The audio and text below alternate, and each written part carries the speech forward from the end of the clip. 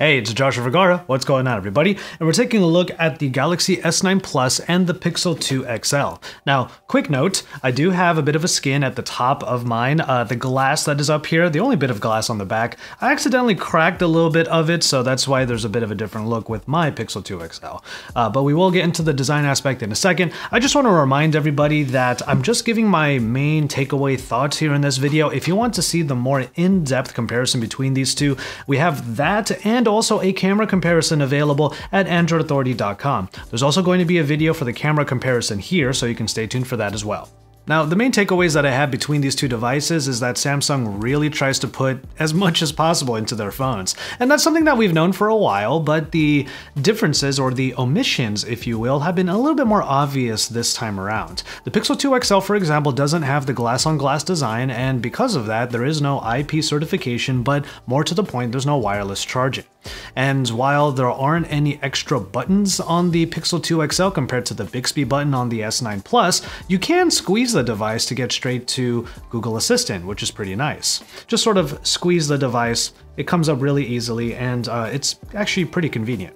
But the other omissions are a little bit tougher to forgive, mainly the headphone jack. Now, without a headphone jack on the Pixel 2 XL, you have to use a USB-C adapter for your wired headphones.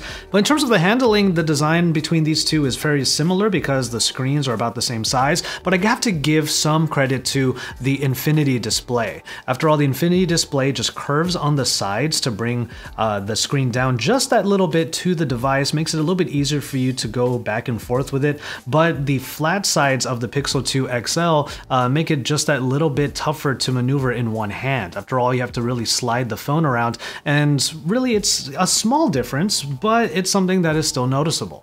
As everyone has been talking about, the fingerprint reader on the S9 Plus and on the S9 really has been put in a much better spot, so we can give uh, the S9 credit for that. And as you can see on the back here, there is a dual camera setup on here. And when we talk about the cameras in a little bit, the dual camera setup is a vastly different philosophy than the Pixel 2 XL. The Pixel 2 XL has been out for a little while now, so it does have that bit of a disadvantage because it has the Snapdragon 835 with 4 gigabytes of RAM, while the Snapdragon 845 is what you have in the S9 Plus, and the S9 Plus also gets a bump up to 6 gigabytes of RAM, which is pretty nice. So there is a bit of a performance gap here, but it's not so wide, and also with the stock Android that's on the Pixel 2, uh, you should have reliable, speedy performance uh, throughout your time with it, uh, especially with this one that I've had, and I've had this thing for months. You also have Bixby, which is right here. I press the Bixby button over on the side and it takes me to the landing page where there are a lot of pieces of information here. Not only the top apps that you might want to download, top apps that you use, but also feeds. Uh, you can also hold the Bixby button so that you can do voice commands. And one thing I will give Bixby some credit for is when you hold the button and you say something like, let me try that real quick. Open the camera and take a selfie.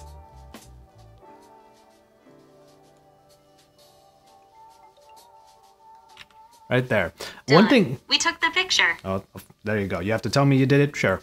Anyway, the follow-up commands are really nice in Bixby. You are able to say the first part of a command and then do a follow-up command. So depending on what you're looking to open up, uh, it will be able to follow through. Now that is something on top of an existing Google Assistant that you get in Android Oreo anyway by holding down on the home button. So really it just comes down to how much you want to be able to do between these two devices, but there are a lot of the same multitasking features, and there are a lot more features on the Galaxy S9 Plus that you may or may not find useful, so the core experience is always going to be reliable. For example, all of the extras include things like the Edge UX uh, over here on the side, uh, coming from the curve of the Infinity display, so you can access your most uh, contacted contacts, your most used applications, and there are a ton of options uh, inside of the settings area to customize customize the device. I even have a video, a 15 second video as my lock screen, and the always on display of the S9 and the S9 Plus can be customized with a custom picture or logo in this case. And depending on your usage, the S9 Plus and the Pixel 2 XL have very similar capacities in their batteries and thus very similar battery life. There's only 20 more milliamp hours in this one, so really the experience has been largely the same. Uh, I can get a day or a day and a half from these two phones depending on what my usage is, but if you're a very heavy power user, power saving modes are important also. But the Samsung Galaxy S9 Plus provides even more of those, including a really deep power saving mode where it turns off a lot of the features and only allows some applications to be opened at any given time. So if you really are a superpower user, you need your phone to last as long as possible, Samsung tries to make sure that that can happen. And finally, we can talk about the cameras, and there are two different philosophies at work here. Like I mentioned before, we did do a camera comparison between these two and a couple of other phones, uh, and we are going to provide that in a separate piece here at Android Authority.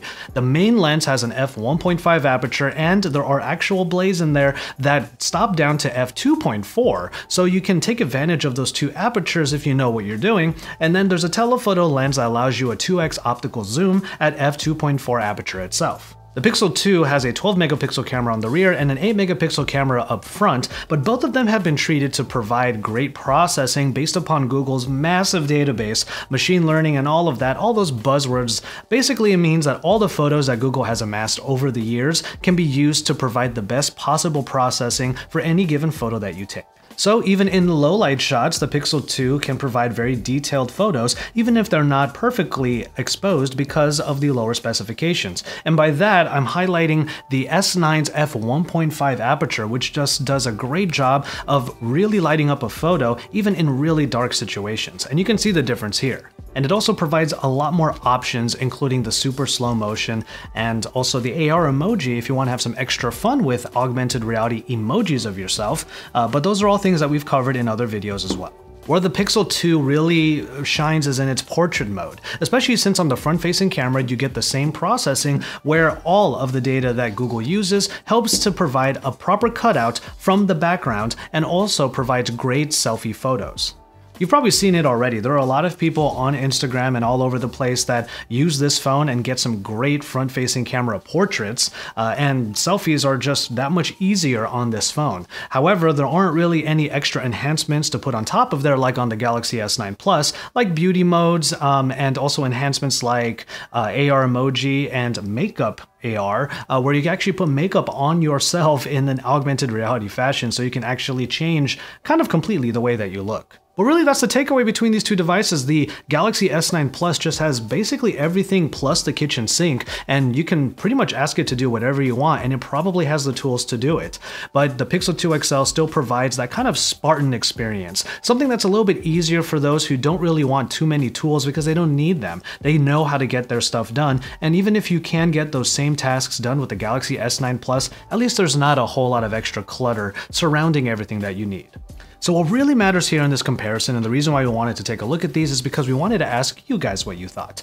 You can get into the comments down below and talk about which one of these two phones you would pick. And you can also talk about this comparison if you have any questions at all. You can also let us know in the comments down below, and we are going to uh, respond to those comments down there, but also some of the top comments might actually be used in a future piece of content, so make sure you stay tuned for that as well.